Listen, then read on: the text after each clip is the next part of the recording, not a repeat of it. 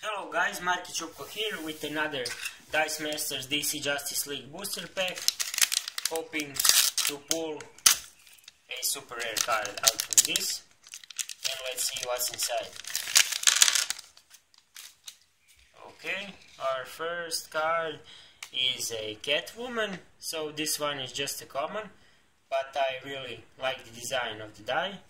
You can sure feel the quality. It's like rubbery it has a rubbery finish uh, and this uh, Catwoman common card uh, is a 4 cost uh, fist type monster and when fielded draw die from your bag and add to your prep area.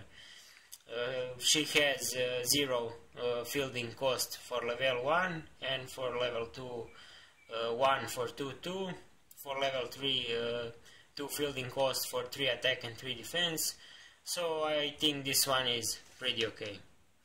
In our next card is a Red Tornado. Uh, this one is just a common, uh, so this is a, a 3 cost uh, bolt type uh, hero, um, vanilla type uh, with uh, pretty powerful attack, but also a quite expensive fielding cost. So that's it for today. I hope you guys are enjoying my Dice Masters unboxings and I hope uh, that uh, you are sharing my videos if you like them and please subscribe for more amazing Dice Masters unboxings. See you next time. Bye.